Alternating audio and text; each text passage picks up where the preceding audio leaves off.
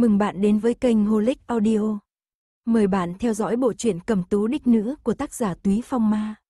Nếu yêu thích video hãy nhấn theo dõi kênh và để lại bình luận bên dưới nhé. chương 111, Vân Khanh Thế Tử Uyên Ương Hí Thủy, 2 Ngự phượng đàn thấy nàng cười rạng rỡ với mình thì nhất thời ngây người ra, nhưng ngay kế tiếp, mặt hắn lại hứng trọn cả một ống nước tạt đến. Nước đọng trên lông mi, lông mày, cánh mũi, miệng và nguyên một vạt áo trước ngực. Hắn đưa tay lên vuốt mặt rồi nhìn Vân Khanh đang ngồi xổm bên dòng suối nhìn hắn với vẻ đắc ý, trong tay vẫn còn cầm cái gì đó dùng để múc nước, nói với vẻ vui sướng hài lòng, phu tử à, ta không cố ý. Thật sự xin lỗi nha. Thải Thanh và Thanh Liên lập tức nghẹn họng, hôm nay tiểu thư làm sao vậy, cố ý tìm đồ đựng đi tạt nước phu tử, chứng cớ còn cầm rành rành trong tay thế kia mà còn nói là không phải cố ý bộ người ta mù à. Hoàng tiểu muội tuổi còn nhỏ mà lúc này cũng cảm nhận được không khí có chút kỳ lạ, nhảy lên cạnh bờ ngồi trên cỏ nhìn hai người rằng co. Ngự phượng đàn bị hát nước đầy mặt, cố ý lầu bầu, như vậy là không được. Hành vi thế này được xem là không tôn sư trọng đạo. Nếu hôm nay ta bỏ qua cho nàng, phu tử khác mà biết được thì nhất định sẽ nói ta quá nuông chiều đệ tử. Phu tử nào mà biết được? Hắn không nói thì có ai khác biết được chứ. Muốn dùng chiêu, dùng cây dọa khỉ, mà uy hiếp nàng đấy à? Nàng không sợ đó thì sao? Nàng đứng dậy, cười nhạo nói, người muốn thế nào, nói ra nhanh đi. Thật sự là không hiểu được nha, vì sao khanh khanh cứ hễ nhìn thấy hắn thì liền phụng phiu vậy. Vừa mới nãy nàng còn vui đùa thật thoải mái, vừa nói vừa cười, vẻ mặt thiên chân như nắng xuân khiến hắn nhìn mà không muốn rời mắt chỗ thôn trang này là của gia đình nàng phải không? Nếu ta đã đến đây, vậy nàng mang ta đi chung quanh xem một chút đi. Thế nào, được không? Đi xem xung quanh một chút. Vân Khanh nhìn ra chung quanh, một biển hoa đào bồng bềnh như mây, non xanh nước biếc xa xa trông thật thanh bình, phong cảnh tuyệt đẹp, đẹp một cách tinh khiết nhàn tĩnh. Chẳng lẽ, ngài, thế tử này nhàn rỗi đến nỗi chân tay ngưa ngáy nên muốn đến nơi này du sơn ngoạn thủy thật đấy à? Vậy đúng là khéo nhỉ.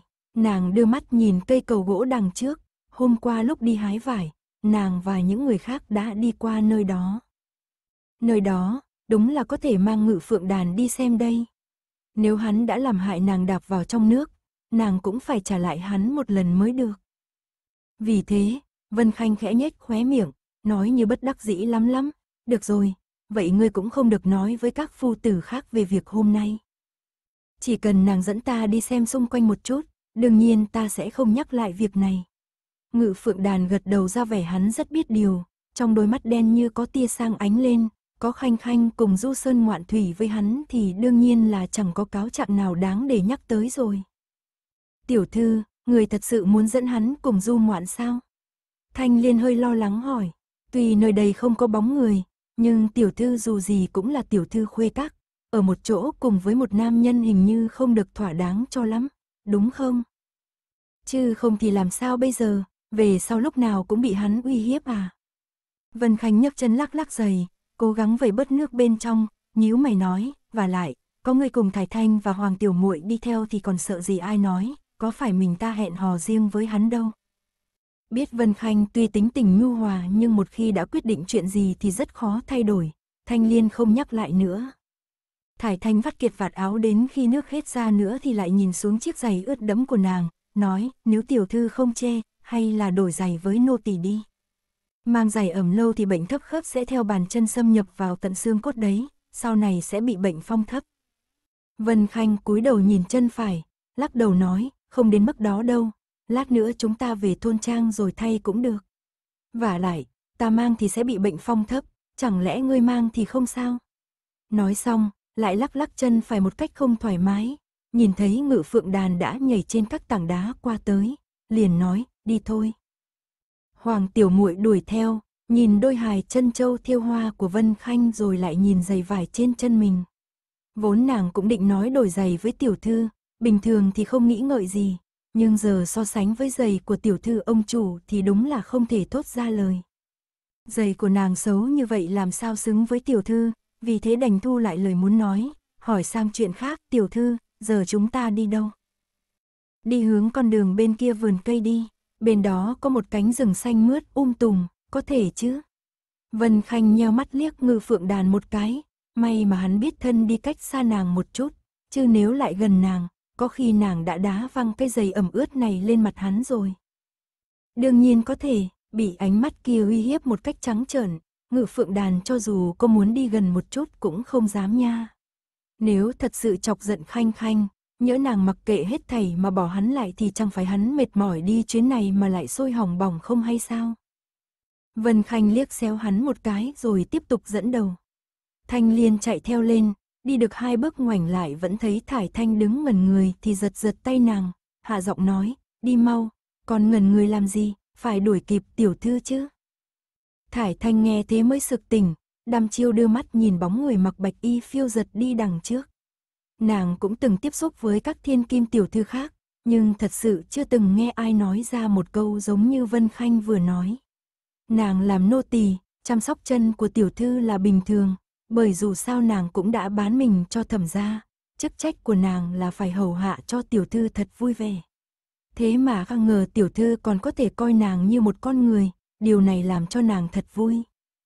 Nông thôn vắng vẻ, khung cảnh núi non lại yên tĩnh, trong tai lúc này chỉ có tiếng thông reo xào xạc, tiếng chim hót vui tai, tiếng dòng suối róc rách chảy qua những tảng đá, cùng với từng đợt gió núi thoang thoảng lướt qua hai má, qua mờ u bàn tay, mang theo một làn hương nhẹ nhàng khoan khoái thanh khiết làm cho người ta vui vẻ thoải mái, không khỏi muốn nghỉ chân thưởng thức. Tất cả mọi thứ đều tốt đẹp như vậy, khiến người ta say mê như vậy, ngoại trừ tên nam nhân đáng ghét đang đi bên cạnh này. Đây là cái gì? Ngự phượng đàn hỏi. Vân Khanh liếc mắt một cái, hoa đào. Vậy à, thế đây là cái gì? Lại liếc mắt một cái, hoa hạnh. Thế này lại là cái gì? Cá. Vậy, ngự phượng đàn còn muốn mở miệng hỏi. Vân Khanh cảm giác gân xanh trên trán đã muốn giật bần bật nên cắn răng, ổn định giọng nói, cắt lời, ngươi đừng cố ý biến mình thành kẻ chỉ biết bay lơ lửng trên mây chưa nhìn thấy nhân gian khói lửa bao giờ, chẳng lẽ ngươi thật sự muốn làm yêu tinh? Ngọng, muốn nói chuyện với nàng thêm mấy câu mà hình như lại chọc giận khanh khanh rồi. Ngự phượng đàn cười lộ hàm răng tuyết trắng lấp lánh như ngọc dưới ánh mặt trời, vươn ngón trỏ ra lắc lắc, không, ta không phải yêu tinh. Nàng xem, ta có biến thành bụi dưới mặt trời đâu. Hoàng tiểu muội đi phía sau nên không chú ý tới phần đối thoại trước đó, chỉ nghe được một câu cuối cùng, liền chạy chậm đến cạnh Vân Khanh, nói bằng giọng vô cùng khẳng định, tiểu thư, người yên tâm, hắn chắc chắn không phải là yêu tinh đâu. Bất quá, bộ dạng nhìn được như vậy, không phải yêu tinh chẳng lẽ lại là tiên nhân? Ngự phượng đàn tùm tìm cười lắc đầu với Hoàng tiểu muội không, không, ta cũng không phải là tiên nhân. Tiên nhân không tình không yêu, hắn cần gì làm kẻ như vậy, nếu không khanh khanh làm sao bây giờ? Tiên nhân, có loại tiên nhân luôn thời thời khắc khắc xuất hiện trước mặt nàng như vậy sao? Không biết Vân Khanh vì bị ánh sáng phản xạ từ hàm răng trắng bóng của hắn làm cho nheo mắt lại, hay là vì tức quá mà nheo mắt, nghiến răng rít từng từ, ngắm cảnh đi. Ngự phượng đàn gật gật đầu, khanh khanh ngắm phong cảnh, hắn ngắm khanh khanh. chương 112, Vân Khanh Thế Tử Uyên Ương Hí Thủy, 3. Thải Thanh nhìn hai người đi đằng trước, lặng lẽ đè thấp giọng, Thanh Liên, trong học viện có phu tử trẻ tuổi như vậy sao? Thanh Liên nhìn bóng lưng màu trắng kia, lắc đầu, ta cũng không biết, hình như có rất ít phu tử trên học đường vừa trẻ vừa đẹp mắt như vậy. Nhưng tiểu thư học ở Bạch Lộc Thư Viện, có lẽ không giống với mấy chỗ khác. Nếu có phu tử như vậy, đi học nhất định rất tốt. Thải Thanh mang vẻ mặt mơ ước, nhìn chằm chằm vào bóng lưng của ngự phượng đàn, nhớ tới khoảnh khắc lúc hắn vừa bước ra từ dưới tảng cây lúc nãy. Thật đúng là không có một từ nào trong vốn từ ngữ mà nàng biết có thể diễn tả một cách thích hợp được. Nàng thầm nghĩ, nếu về sau cô gia của tiểu thư cũng đẹp mắt như vậy thì tốt rồi. Trong lúc Vân Khanh khó chịu mà ngự phượng đàn thì tâm trạng vô cùng tốt, mọi người tiếp tục đi dọc theo dòng suối nhỏ xuống phía dưới. Càng về sau, khi dòng suối này dần dần nhập lưu với những dòng suối nhỏ khác, bắt đầu mở rộng ra và trở nên sâu hơn để hình thành một dòng sông nhỏ, thì cánh rừng mà Vân Khanh nhắc tới lúc nãy xuất hiện ngay trước tầm mắt mọi người. Vân Khanh ngừng lại, nói với ngự phượng đàn, ngươi cam đoan sẽ không rêu rao việc hôm nay gặp ta ở chỗ này chứ? Nếu chuyện này bị đám hoa đào của hắn biết được thì không biết còn gây khó dễ cho nàng đến mức nào nữa đây. Đương nhiên sẽ không, ngự phượng đàn nói thập phần khẳng định. Vân Khanh nghiêng mặt ngẩng đầu nhìn vào mắt hắn thì thấy trong cặp mắt sáng ngời kia chứa đầy ánh chân thành. Nàng gật gật đầu, bỏ thêm một câu, quân tử nhất ngôn. Tứ mã nan truy, lần này, hắn thập phần ăn ý tiếp lời. Vân Khanh nghe thế mới hơi hơi nhếch nhẹ môi, nàng biết tuy rằng ngự phượng đàn hành vi có hơi bừa bãi, nhưng vẫn là người nói chuyện giữ lời, nếu không sau này cũng không thể lĩnh quân mà uy danh lan xa. Được rồi, chúng ta qua cầu sang bên kia đi. Lúc này, tâm trạng của Vân Khanh dường như đã tốt lên, phóng tầm mắt nhìn ngọn núi xanh biếc như ngọc bích trước mặt, độ cong nơi khóe miệng lại lớn hơn một chút. Nước sông trong xanh thấy rõ cả những hòn đá cội dưới đáy, mặt nước phản chiếu ánh mặt trời tạo ra vô số hào quang vàng óng ánh trên nền ảnh ngược của rừng cây xanh thẳm bên trên. Nàng bước lên chiếc cầu gỗ, sau đó đi qua rất nhanh rồi đứng bên bờ bên kia ngoắc ngoắc ngự phượng đàn, lại đây nhanh lên, bên này trông phong cảnh đẹp hơn. Với ngự phượng đàn mà nói, phong cảnh có đẹp hay không hắn hoàn toàn chẳng có tâm đâu mà thưởng thức, bởi cô gái áo trắng đối diện mới là phong cảnh đẹp nhất trong mắt hắn lúc này. Hắn nhìn thoáng qua cây cầu gỗ được làm bằng vài ba miếng ván gỗ ghép lại, khóe miệng nhếch lên một cái, rồi nhấc chân bước lên. Hoàng tiểu muội nhìn hắn nhấc chân thì miệng mấp máy định nói gì đó, nhưng rồi cũng không có phát ra tiếng. Thải Thanh và Thanh Liên cũng đồng thời e ngại nhìn nhìn cây cầu gỗ kia. Cái cầu này chỉ được ghép lại đơn sơ bằng vài tấm ván cho một người đi qua, trông rất trông chênh, chẳng hiểu lá gan của tiểu thư lớn đến bực nào mà có thể một hơi đi qua như vậy. Các nàng không biết Vân Khanh lúc này ở mặt ngoài thì đang cười nhưng thật ra trong lòng đang đầy một bụng hỏa, làm sao còn đầu óc đâu mà nghĩ cầu có nguy hiểm hay không, chỉ chăm chăm nghĩ phải đi nhanh qua mới được. Ngự phượng đàn hoàn toàn lơ đãng, thong dong bước lên cầu, ánh mắt vẫn không hề rời khỏi gương mặt Vân Khanh một giây nào, cho đến khi đi đến giữa cầu, chân dẫm xuống một chỗ nào đó bỗng nghe rắc một tiếng. Một trong các tấm ván thân cầu lâu ngày đã bị sương gió và ẩm ướt ăn mòn, bên trong đã mục ruỗng, chỉ cần một bước chân của hắn đạp xuống liền lập tức gãy rời ra. A, Thải Thanh nhìn thấy thân mình ngự phượng đàn nghiêng sang một bên liền ôm ngực kêu lên một tiếng hoảng hốt. Hoàng tiểu muội vung vẩy thật mạnh hai tay, mau xuống dưới đi, nơi đó gãy rồi. Nàng vừa rồi quên không nhắc là cầu này mấy bữa trước cha nàng đã nói phải sửa. Vân Khanh vẫn đứng ở bờ đối diện, nhìn thấy thân ảnh của ngự phượng đàn nghiêng lệch sang một bên thì nét cười nơi khóe miệng mở ra một độ cong lớn nhất. Rơi đi, rơi vào nước đi, tên thế tử đáng ghét này nên rơi thẳng xuống sông rồi uống vào bụng mấy ngụm nước sông luôn mới tốt. Rồi từ nay về sau hắn sẽ căm ghét nàng, sẽ không xuất hiện trước mặt của nàng khiến cho nàng bị phiền toái nữa mới đúng là phước đức cho nàng. Nàng không bao giờ phải lo lắng đề phòng người khác phong ánh mắt ghen tị lên người nàng như vậy nữa. Cái đám con trời con Phật Hoàng thân quốc thích này có bao giờ biết là bọn họ đem phiền toái đến cho người khác như thế nào đâu. Ngự phượng đàn cũng thế, An Ngọc Oánh cũng vậy, chắc Huỳnh cũng chẳng khác gì. Bọn họ chỉ thích dựa vào ưu thế của chính cha mẹ mình để tác uy tác phúc, làm việc tùy hứng bất kể mọi người. Nàng vất vả lắm mới có thể rời xa cuộc sống suốt ngày lục đục với nhau bằng mặt mà không bằng lòng này để hưởng thụ cuộc sống tĩnh lặng. Thế mà hắn cứ muốn lôi nàng ra làm cái đinh trong mắt mọi người. Đã vậy, thì hắn cứ đi vào nước hưởng thụ một lúc đi rồi nói sau. Thời gian cả ngàn suy nghĩ chuyển động trong đầu nàng thế này chẳng qua cũng chỉ là chuyện trong nháy mắt. Ngay khi chân ngự phượng đàn đặt xuống tấm ván rỗng thì hắn đã nhận ra là tấm ván này đã mục. Hắn thoáng liếc xuống thì đúng là có một cái khe chính giữa. Phản ứng tiếp ngay sau đó là ngẩng đầu nhìn Vân Khanh, muốn nói với nàng rằng may mà nàng không có dẫm lên tấm gỗ mục này. Nhưng hắn lại phát hiện, nàng bình thản đứng nơi đó, ánh mắt chăm chú nhìn vào hắn. Trên mặt không hề có một tia bất ngờ hay kinh hoàng nào mà chỉ có nét tươi cười vô cùng bình tĩnh, thậm chí có vẻ rất khoái trá, trong đôi mắt phượng sách lên kia che giấu một nét chờ mong thật đậm. Đúng vậy, nàng đang chờ, chờ hắn ngã xuống, ngã vào giữa sông. Hắn vốn chuẩn bị động tác đề khí nhảy lên liền nhanh chóng kìm lại, cả người xuôi theo lực kéo tự nhiên mà ngã bùm vào trong nước. Vân Khanh vừa nhìn thấy vậy thì chỉ tiếc là mình không thể nhảy dựng lên mà vỗ tay hoan hô. Ngã rồi, quả nhiên là ngã xuống nước rồi.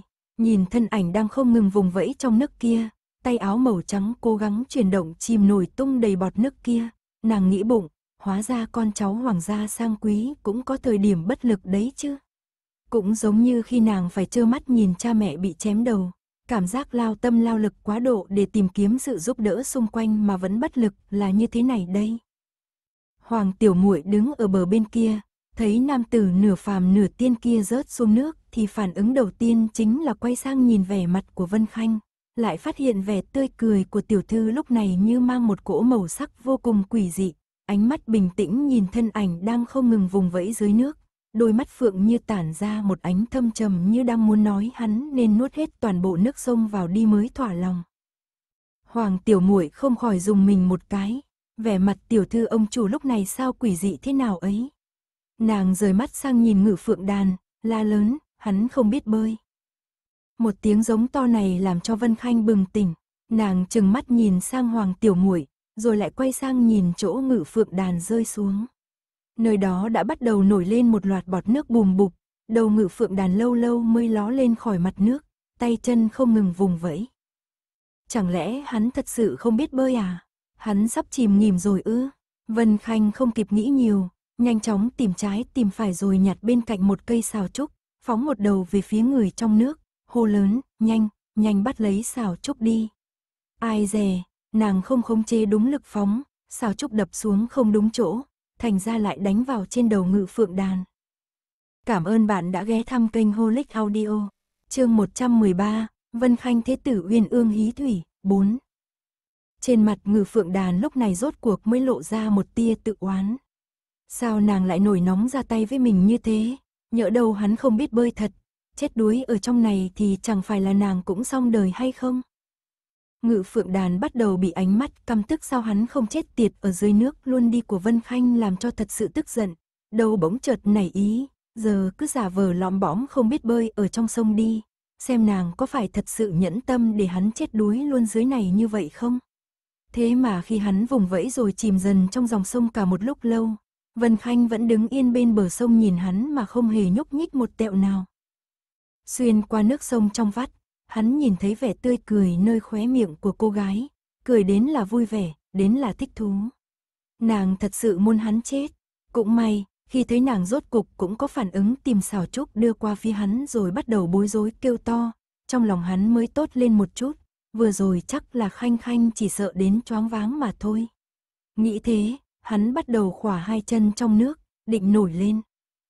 Bốp một tiếng, Sao trúc nàng đưa qua bỗng nện vào trên đầu hắn, lập tức khiến cho kẻ không hề chuẩn bị sẵn như hắn lúc này bị đập chìm vào trong nước một cách đột ngột, do bất ngờ nên uống một ngụm nước thật to.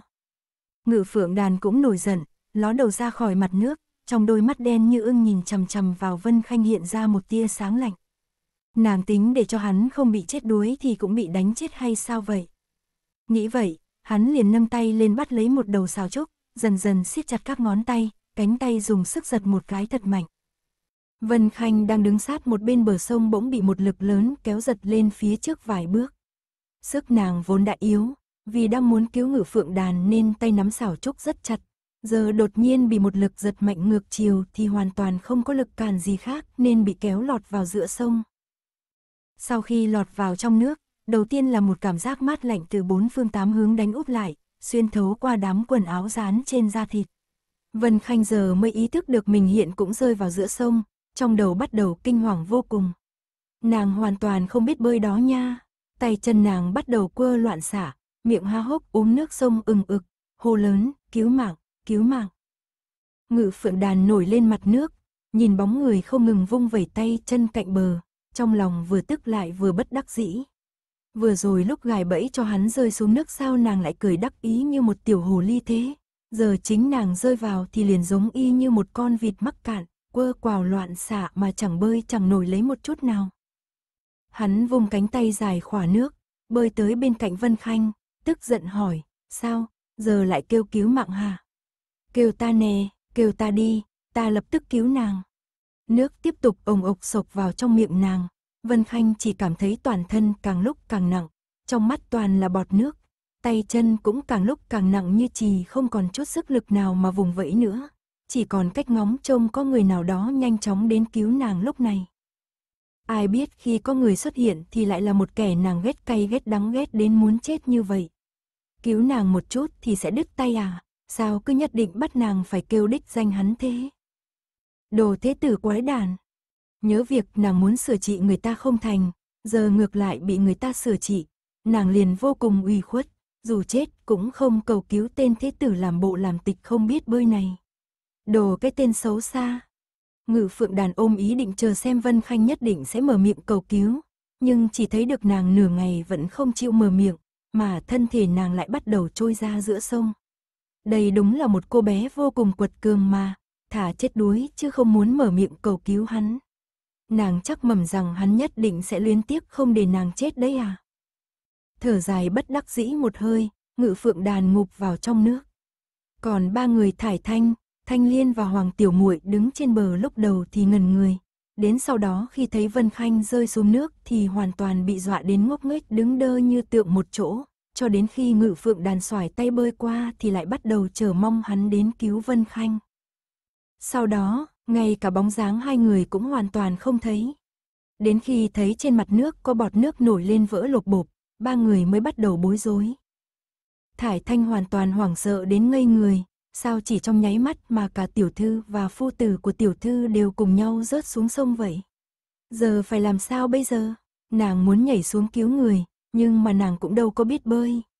Thế thì phải làm sao bây giờ?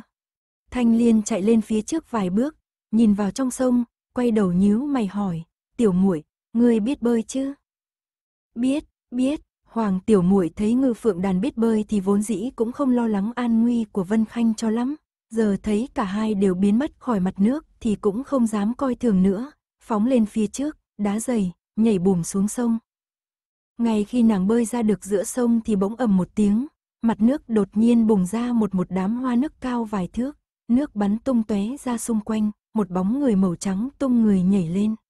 Dưới ánh mặt trời, bóng người áo trắng tóc đen như mực thấm nước ướt rượt như một con cá vảy bạc nhảy ra từ trong nước, chớp mắt sau lại hóa thành một con rồng trắng, bọt nước bắn ra vạn dặm xung quanh rồi rào rào rớt xuống bờ sông và thành cầu gỗ. Hai người Thải Thanh và Thanh Liên nhìn xem mà trợn mắt há hốc mồm. Thân hình kia lúc này trông giống như một con rồng trắng đang bay lượn mà phát ra ánh cầu vồng, toàn thân mang theo bọt nước phản xạ hoàn toàn ánh mặt trời sáng rọi. Thoáng chốc, mặt nước như hiện lên một chiếc cầu vồng bảy màu rực rỡ. Hai chân ngự phượng đàn liên tục đá giữa không trung, thân thể ôm Vân Khanh trong lòng xoay tròn, nước thấm trong y bào trắng vì động tác xoay tròn này mà văng ra khắp nơi, rồi dần dần nhẹ nhàng phiêu giật đáp xuống trên bờ cỏ đối diện. Thải Thanh nhìn bóng dáng gầy nhỏ trong lòng hắn, nghĩ ngay, không là Vân Khanh thì còn có thể là ai đây, liền vội vàng hô to, tiểu thư, tiểu thư.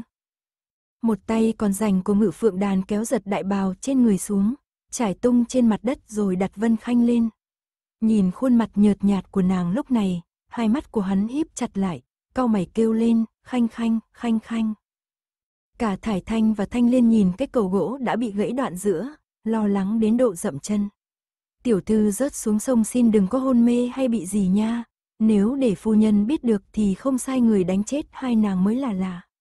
Tiểu thư là thiên kim bảo bối của phu nhân đó, nếu tiểu thư không mạnh khỏe, các nàng cũng đừng sống nữa.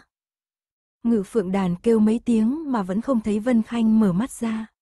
Nhìn đôi mắt phượng với hàng lông mi thật dài thấm đẫm nước kia, rồi nhìn vẻ tái nhợt càng khiến khuôn mặt nhỏ nhắn của nàng trông càng gầy yếu, hắn không khỏi tức giận chính mình. Sao lại chọc ghẹo nàng như vậy chứ? Hắn có phải là không biết nàng trước giờ vẫn không thích hắn xuất hiện ở trước mét nàng đâu, nếu xảy ra việc gì thì làm sao bây giờ?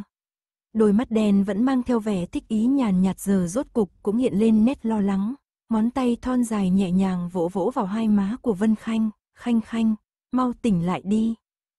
Nhưng vẫn không nhận được sự đáp lại nào, hắn hít sâu một hơi, nhớ tới Vân Lão Thái Gia từng nói qua, nếu người rơi vào trong nước sau nửa khắc mà vẫn không có hô hấp thì đó là do trong nước không có không khí để thở, khiến não thiếu dưỡng khí làm cho hôn mê.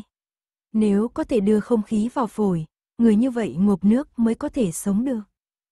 Hắn nhìn nhìn cánh môi vốn phấn hồng nho nhỏ mềm mại của Vân Khanh giờ đã trở nên trắng bệnh, không khỏi mím chặt môi lại, khụ khụ.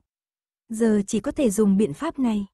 Mắt ngự phượng đàn trở nên đầy mị hoặc liếc nhìn lên trời xanh một cái, lão thiên gia à, ta thật sự không có cách nào khác mới phải làm như vậy đó nha, đây là vì để cứu người đó nha. Hắn hô hấp thật sâu một hơi, rồi cúi xuống mặt Vân Khanh. Trong mắt hiện lên một tia sáng tinh danh, đương nhiên, nếu Khanh Khanh nguyện ý buộc hắn phải chịu trách nhiệm thì cũng rất tốt. Thải Thanh nhìn thấy ngự phượng đàn ghé đầu xuống thì lập tức đưa tay lên che miệng, hai mắt trợn to. Hành động đó là muốn làm gì vậy? Thanh Liên hơi khựng bước, nhìn động tác này của nam tử mà không biết nên giống to lên hy vọng có thể dùng âm thanh mà bảo trụ sự trong sạch của tiểu thư, hay là nên nhanh chóng xoay người làm bộ như không nhìn thấy cái gì, đến chết cũng không thừa nhận tiểu thư có bất kỳ dính líu nào với hắn thì tốt hơn. Hoàng tiểu muội bơi một vòng dưới sông mà không tìm được tiểu thư ông chủ đâu thì trồi lên mặt nước để thở, vừa ló đầu ra thì hình ảnh đầu tiên nhìn thấy lại mang tính kích thích đến thế. Miệng mở ra để thở cũng không kịp khép lại mà cứ há hốc ngơ ngác nhìn bờ cỏ đối diện. Nàng cũng băn khoăn không biết nên bịt kín mắt đi hay không bịt kín mắt thì mới tốt. Ca ca nàng vẫn thường nói, đây là hình ảnh thiếu nhi không nên nhìn nha. chương 114, Thế tử Vân Khanh hô hấp nhân tạo, 1. Ngay lúc môi ngư phượng đàn chỉ còn cách môi Vân Khanh có nửa tấc, đôi mắt phượng sâu thẳm trên dung nhan như bạch ngọc kia bỗng mở ra. Vân Khanh đã tỉnh. Ngự phượng đàn trợn mắt, Vân Khanh cũng trở nên cứng đờ trong nháy mắt. Lúc này, động tác của hai người tuy giống nhau nhưng suy nghĩ lại hoàn toàn bất đồng. Sao Khanh Khanh lại tỉnh lại ngay lúc này thế? Hắn phải làm gì bây giờ? Vẫn tiếp tục hôn xuống hay là nên ngẩng đầu lên? Còn Vân Khanh thì chưa hoàn hồn lại sau khi chìm vào nước, đầu óc vẫn còn ngơ ngẩn trong chớp mắt. Nhìn khuôn mặt tuấn tú đang từ từ phóng đại trước mặt này thì nhủ bụng, người này là ai vậy, sao trông quen thế nhỉ? Đầu óc nhanh chóng chuyển động, người này là ngự phượng đàn đây mà, hắn cúi sát vào nàng như vậy để làm cái gì? Người tránh ra cho ta. Vân Khanh nhảy dựng lên như con mèo bị dẫm phải đuôi, hai tay đẩy mạnh ngực ngự phượng đàn, quăng hắn té đập mông trên đất. Ngự phượng đàn đứng lên khỏi mặt đất, vỗ vỗ mông, hỏi, nàng có khỏe không?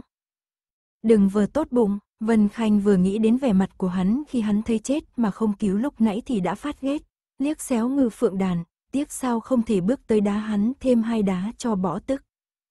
Ngự phượng đàn bị chỉ trích bất công như vậy nên cảm thấy vô cùng ủy khuất, rõ ràng là nàng cố ý làm cho ta té từ trên cầu xuống nước nha.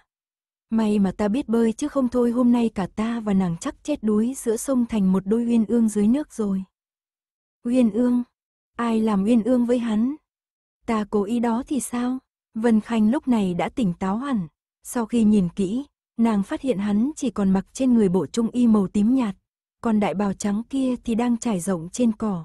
Vừa rồi nàng chính là nằm ở mặt trên của đại bào kia.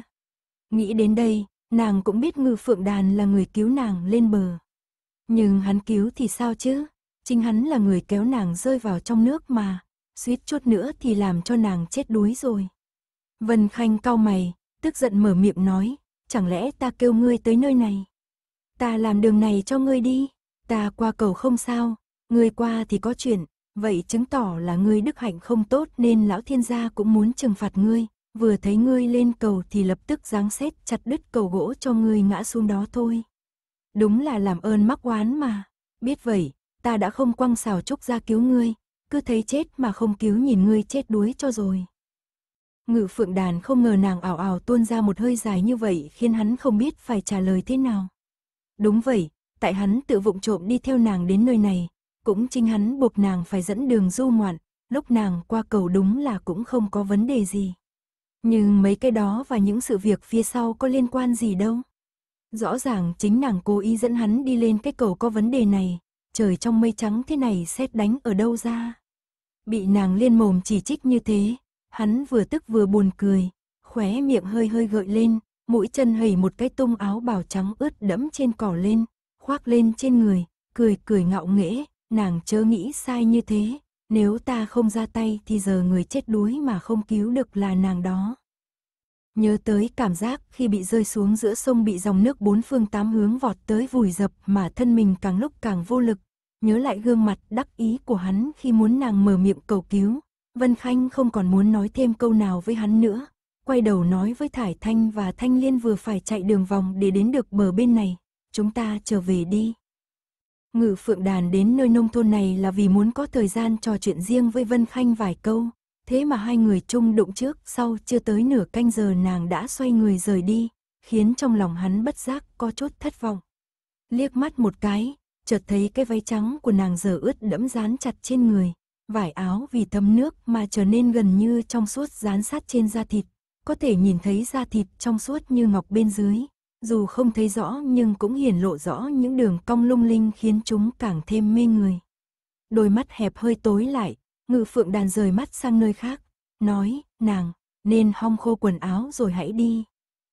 Thanh Liên lúc này cũng chú ý thấy váy của Vân Khanh đã ướt đẫm nên vội vàng bước tới hai bước, đứng ở phía trước che khuất thân thể Vân Khanh đang lộ ra bên ngoài, liếc mắt nhìn ngự phượng đàn một cách cảnh giác. May mà vừa rồi tiểu thư tỉnh lại đúng lúc, chưa bằng không thì nàng thật sự không biết phải làm thế nào cho phải. Nàng thu hồi ánh mắt, đè thấp giọng nói với Vân Khanh, tiểu thư, quần áo ướt hết rồi, đi đường người ta sẽ nhìn thấy đó. Lúc này, Vân Khanh cũng cúi đầu nhìn váy áo bằng tơ mỏng màu sáng của mình.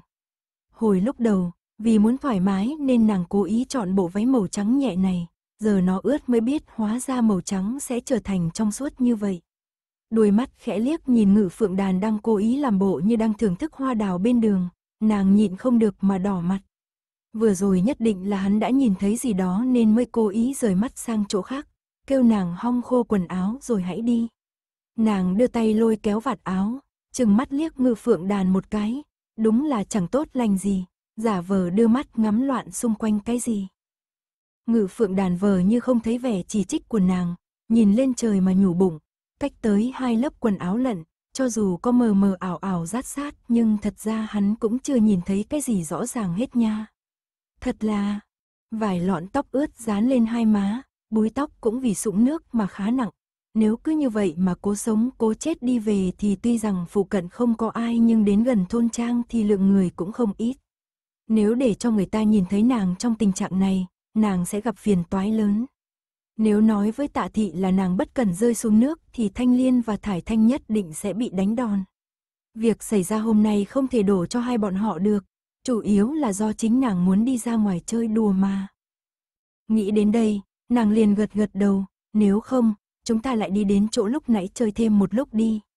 Chỗ đó trống trải, gió mạnh, chỉ cần thổi hai canh giờ thì chắc cũng khô. Không được, không được. Hai giọng nói đồng thời thốt lên, Thanh Liên ngẩn ra, quay đầu nhìn ngự phượng đàn, một giọng khác kia là giọng nam, thanh âm dày ấm dễ nghe như rượu ủ lâu năm kia nhất định là do hắn thốt ra. Sao giờ ngươi lại nói là không được? Chẳng lẽ muốn cho ta mặc như vậy đi về sao? Lúc này, tâm trạng của Vân Khanh đã xấu đến cực điểm, mặt mày xanh mét. Tên thế tử yêu tinh này, nếu không phải do hắn kéo nàng xuống nước thì làm sao nàng có thể lôi thôi chật vật như vậy chứ? Gió thổi mạnh thì nàng sẽ bị cảm. Tầm mắt ngư phượng đàn cuối cùng cũng nhìn về phía Vân Khanh đang được thanh liên chắn ở phía sau chỉ lộ ra mỗi khuôn mặt trắng trẻo như bạch ngọc, trong mắt hắn toát ra một chút thất vọng. Tuy rằng cách hai lớp quần áo nên không thấy rõ lắm, nhưng mà cái gì cũng không thấy như vậy thì đúng là cũng rất đáng tiếc à nha. Nhưng nhìn Vân Khanh lúc này đang dương nanh mua vuốt giống như một tiểu hồ ly tức giận muốn vươn móng vuốt ra mà cào cắn người, hắn bất giác sờ sờ hai má, đừng nói là muốn cấu xé hắn nha. Đáng tiếc hắn đã nghĩ đúng, Vân Khanh lúc này rất muốn tự tay cào hai hàng lên mặt ngư phượng đàn. Ai mà chẳng biết sẽ dễ bị cảm, nhưng nàng còn biện pháp nào khác đâu. Chắc chắc nàng không thể ra ngoài chơi một chuyến lúc quay về đã thay bộ quần áo khác, như vậy tạ thị nhất định sẽ phát hiện ra ngay. Đến lúc đó càng khó mà giải thích cho rõ ràng, vậy nếu không dùng gió thổi thì làm gì bây giờ? chương 115, Thế tử Vân Khanh hô hấp nhân tạo, 2. Vậy thì đơn giản thôi, dùng nhan tuyệt mỹ của ngự phượng đàn nở rộ ra một nụ cười tươi như hoa bung cánh rực rỡ dưới ánh nắng vàng. Hắn chỉ vào Hoàng Tiểu muội vẫn còn đang đứng ở bờ bên kia, nói, ngươi về lấy một bộ quần áo lại đây. Hoàng Tiểu muội đang đứng bên bờ bên kia vắt quần áo ướt, nghe mình bị phu tử mặt mũi đẹp như tiên bên bờ đối diện điểm danh thì ngẩng lên nhìn, lập tức bị nụ cười như ngọc phát sáng kia làm cho hai mắt như mê như mộng, trái tim nhỏ trong lồng ngực nhảy nhót không thôi. Nhất thời mặc kệ mọi thứ mà gật gật đầu, được. Vội vàng xỏ chân vào giày, linh hoạt đạp lên tảng đá rồi nhảy lên đường nhỏ. Tiếp theo, Ngự phượng đàn nghiêng mắt quay sang nhìn Thanh Liên và Thải Thanh, mắt phát ra tia sáng như ánh chiều tà mê hoặc lòng người, nói, hai người các ngươi mang tiểu thư các ngươi đến chỗ lúc nãy rồi chờ ta. Thải Thanh đã muốn mơ mơ màng màng không rõ Đông Tây Nam Bắc, còn Thanh Liên thì định lực khá tốt nên còn có thể hỏi, tới đó làm gì? Tới đó để hong khô quần áo cho tiểu thư các ngươi chứ làm gì? Nhanh đi, ngự phượng đàn hất hất cái cằm thon gọn, ánh mặt trời chiếu vào tạo thành một độ cong đẹp mắt. Quay đầu nhìn Vân Khanh nói, nàng qua đó trước cùng các nàng ấy đi. Ta cam đoan lát nữa quần áo của nàng sẽ có cách hong khô, cũng sẽ không bị cảm. Rõ ràng cùng một loại ngôn ngữ bất cần đời như xưa nay, nhưng không hiểu sao giờ lại làm cho người ta tự giác nguyện ý nghe theo sự điều khiển của ngôn ngữ này, bởi trong thanh âm dày ấm đó phảng phất như có mang theo một sự uy nghiêm. Nam tử cười nhẹ, xoay người lướt đi vào trong rừng, chỉ để lại một bóng thoáng trắng nhạt.